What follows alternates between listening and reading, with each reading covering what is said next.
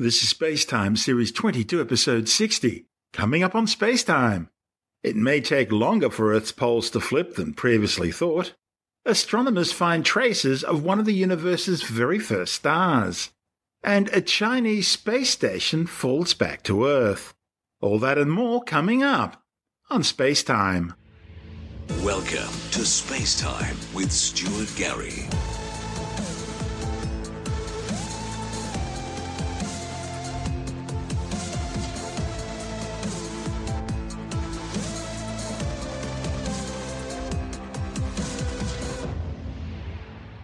A new study suggests Earth's magnetic poles may take far longer to flip than previously thought. A new analysis reported in the journal Science Advances shows the process may take up to 22,000 years to complete. That's more than twice as long as the 9,000 years previously estimated. There's growing evidence that Earth's magnetic poles are about to flip. The North magnetic pole will become south, and the South magnetic pole will become north.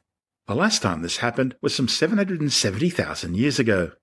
Now, when it does happen, it'll be the first magnetic field polarity reversal in modern times. And that raises some serious questions about how today's technology would cope with the change. To us mere mortals on the surface of this revolving planet around the sun, Earth's magnetic field seems steady and true, reliable enough to navigate by. Yet, largely hidden from daily life, unless you're a pilot, the magnetic field drifts, waxes, and wanes constantly. When I'm flying, one of the first things I do when I get in the cockpit of an aircraft is to readjust the cockpit's compass to the latest readings for true north. For years, the magnetic North Pole was wandering around parts of northern Canada, but more recently it's been careering towards Siberia, which recently forced the global positioning system, which underlies all modern navigation, to update its software sooner than expected to account for the shift. Now, on average, the magnetic pole shifts and reverses its polarity roughly every 250,000 years or so. But with the last one occurring some 770,000 years ago, we're long overdue for the next flip. And there are some early signs that a possible pole reversal may be about to occur. The accelerating movement of the North Magnetic Pole is one sign, Another is something known as the South Atlantic Anomaly, a weird part of the South Atlantic Ocean between Brazil and Africa where compass needles go nuts, pointing south instead of north. And it's not just compass needles that are affected. The South Atlantic Anomaly region causes Earth's inner Van Allen radiation belt to move closer to the Earth's surface, dipping down to just 200 kilometers in altitude.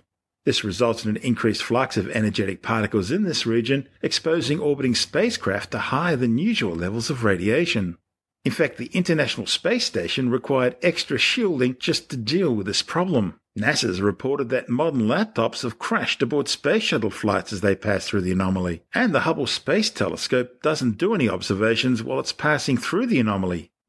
Whether or not the South Atlantic anomaly really does mean Earth's poles are about to flip polarity is yet to be seen. The problem is, scientists have only a very limited understanding as to exactly why the field reversals occur or how they happen. Now, new research by University of Wisconsin-Madison geologist Brad Singer suggests the most recent field reversal, 770,000 years ago, took at least 22,000 years to complete. That's several times longer than previously thought and the results further call into question some controversial findings that some polar reversals could occur within a human lifetime. The new analysis is based on advances in measurement capabilities and a global survey of lava flows, ocean sediment, and Antarctic ice cores, providing a more detailed look at a very turbulent time for Earth's magnetic field. Over millennia, the planet's magnetic field weakened, partly shifted, stabilized again, and then finally reversed for good to the orientation we know today. The new results provide a clearer and more nuanced picture of reversals at a time when some scientists believe we may be experiencing the early stages of pole reversal. Mind you, other researchers dispute the very notion of a present day pole reversal. Singer says unless you have a complete, accurate, and high resolution record of what a field reversal really is like, it will be difficult to discuss the mechanics of generating one. We know that Earth's magnetic field is produced by the planet's molten liquid metallic outer core as it spins around the solid iron inner core, generating powerful electromagnetic currents through what's called a geodynamo. This geodynamo creates a field that's most stable going through roughly the geographic north and south poles, but the field shifts and weakens significantly during reversals. We know this because as new rocks form, typically either as volcanic lava flows or as sediments being deposited on the seafloor, they leave a record of the magnetic field at the time they were created. And geologists can survey this global record, piecing together the history of magnetic fields going back millions of years. The record is clearest for the most recent reversal, that one 770,000 years ago. For the current analysis, Singer and colleagues looked at lava flows from Chile, Tahiti, Hawaii, the Caribbean, and the Canary Islands. They collected samples from these lava flows over several field seasons. Lava flows are ideal recorders of the magnetic field. They have lots of iron bearing minerals, and as they cool and solidify, they lock in the direction of the planet's magnetic field. The researchers combined magnetic field readings and radioisotope dating samples from seven lava flow sequences to recreate the magnetic field over a span of 70,000 years centered on the last reversal. They found the final reversal was quite quick by geological standards, less than 4,000 years.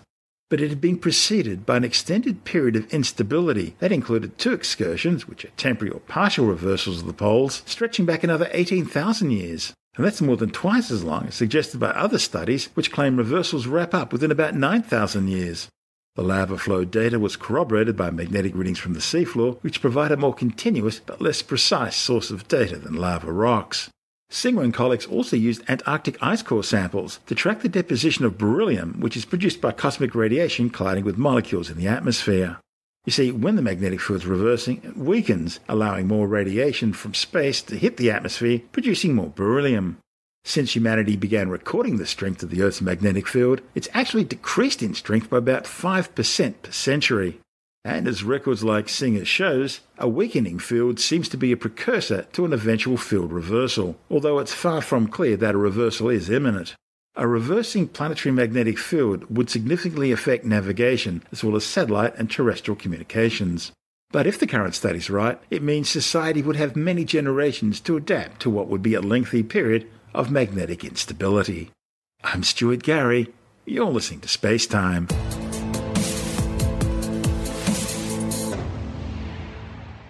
Astronomers have found the ghostly remains of one of the universe's very first stars, buried deep inside an ancient star on the other side of our galaxy.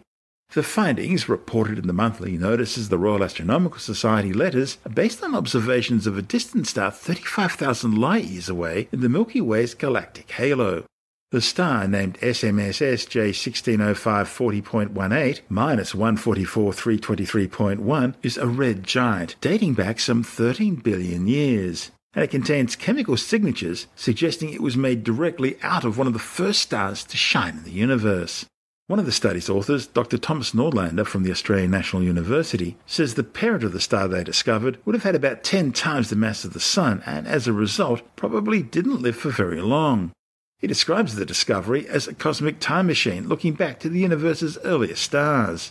That's because the pattern of elements found in stars today can reveal traces about their ancestry.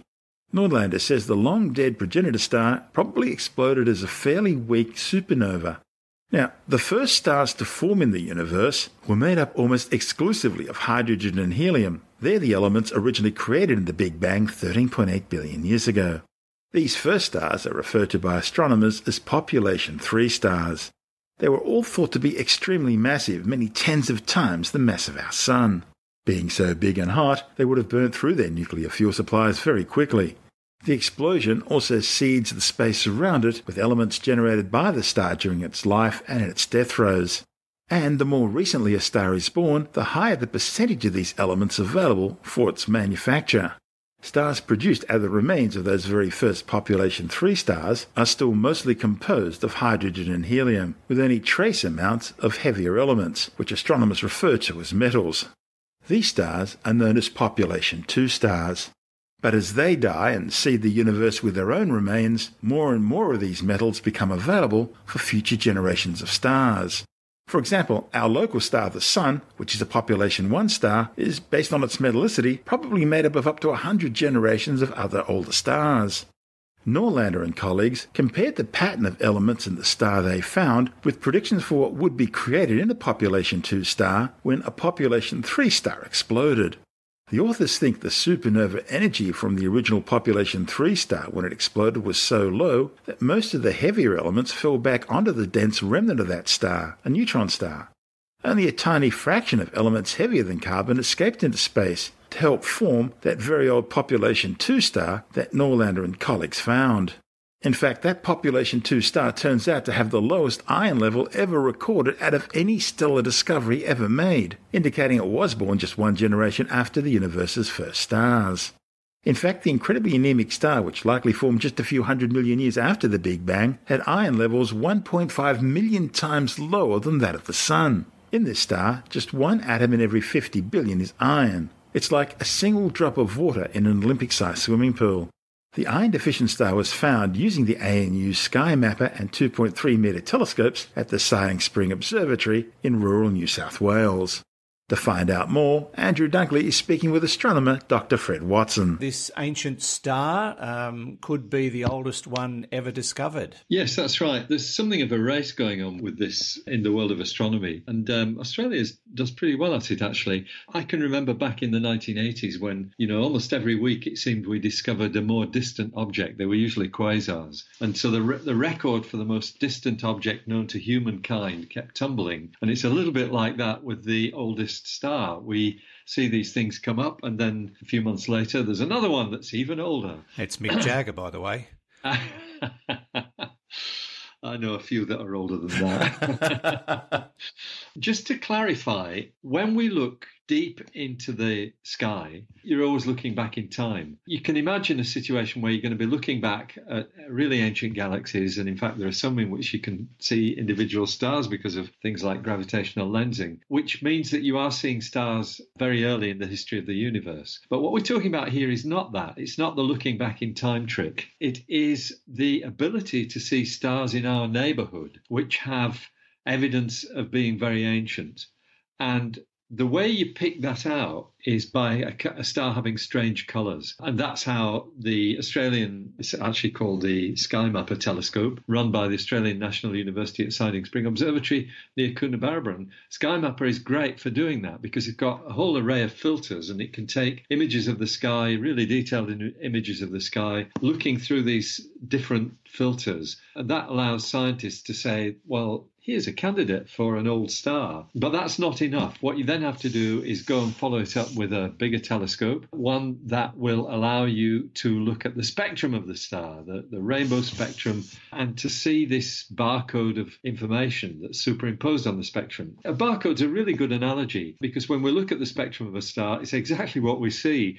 And the, the black lines on the barcode equate to what we call absorption lines. They're essentially the fingerprints of different elements in the star's atmosphere. So the most abundant element in the atmospheres of stars is hydrogen because that's what the universe started off as. Mm. And what happened in the very early universe, there was nothing else. Uh, actually, there was helium as well, but hydrogen and helium were the only things substantially that were there in the early universe. There were trace elements of a couple of other things, but that's not important in this context. And the first generation of stars, the earliest ones to form, would have basically not much more than hydrogen in their spectrum, probably a bit of helium, because it was in the interiors of those stars that the other elements formed. You know, the silicon, the oxygen, the carbon, the iron, all of those things are formed inside stars. And that first generation of stars would give rise to some of these heavier elements. And then, because we believe the first generation of stars were very massive, they lived for short lives, measured in tens of millions of years rather than billions of years, like our sun. Those massive stars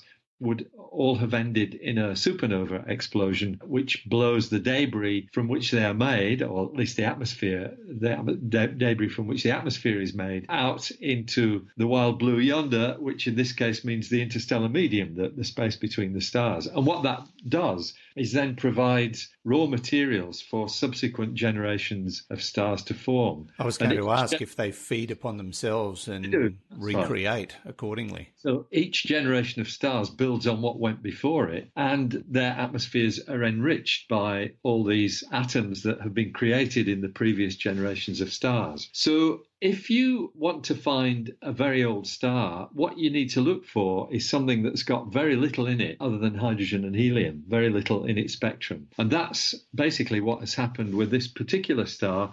I've got to tell you what it's called. Oh, Andrew. please. This one's a cracker. J160540.18 minus 144323.1.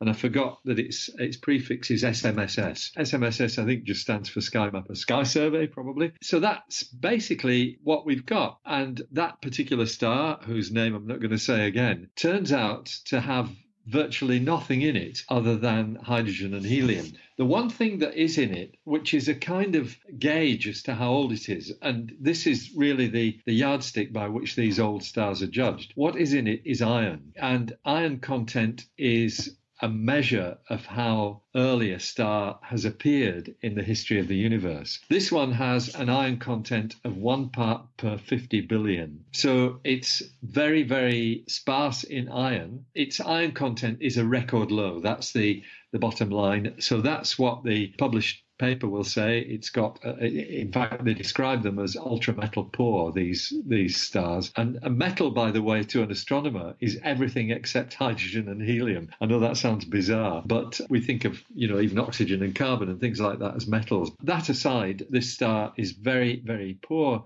in iron and that places it in the record books as being, at the moment, the oldest known star. But watch this space because in a couple of months there'll be another one that's even older. I suppose You so. know, Do, where, where is it? Do we? Can we point at it? It- yes, it, it's in the Milky Way galaxy. It's actually in the halo of our galaxy. That means that not the disk of the galaxy, but there is a spherical, fairly rarefied distribution of stars around the galaxy. We call it the halo. And that's where it is. It's about 35,000 light years away as the crow flies. So a rather distant object, but still in our galaxy. That's Dr. Fred Watson, an astronomer with the Department of Science, speaking with Andrew Dunkley on our sister program, Space Nuts. And this is Space Time. I'm Stuart Gary.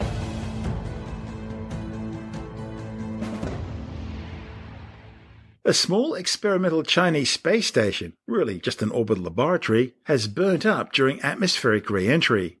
The Tiangong 2, or Heavenly Palace 2, was launched into orbit back in 2016 for what was planned to be a two-year lifespan. Amazingly, the orbiting outpost remained operational for over a thousand days. It was designed to allow visiting taikonauts to practice docking techniques and experience long-duration spaceflight. It also tested new technologies needed for a permanent Chinese space station slated for launch in 2022. Beijing says Tiangong 2's re-entry went smoothly, with most of the spacecraft burning up in the atmosphere and the remains splashing down on target in the eastern South Pacific Ocean west of Chile. And that must have been a relief for Beijing after the disaster of its Tiangong 1 predecessor, which fell back to Earth in a widely tumbling death plunge in 2018 after Beijing lost all control and communications with the orbiting outpost. Beijing was widely criticized over that, not for losing control, these things happen, but for keeping the threat posed by the 8.5 ton out of control spacecraft a secret in order to try and save itself embarrassment.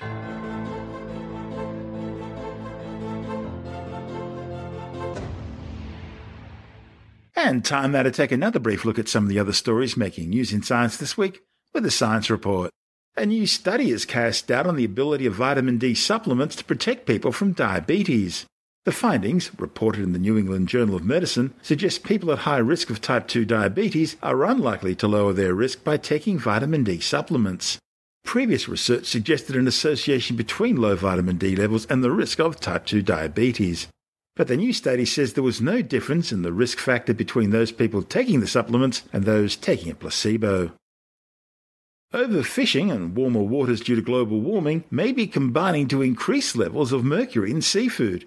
A report in the journal Nature suggests that warming oceans and changing diet due to overfishing could be increasing the levels of methyl mercury in some fish species.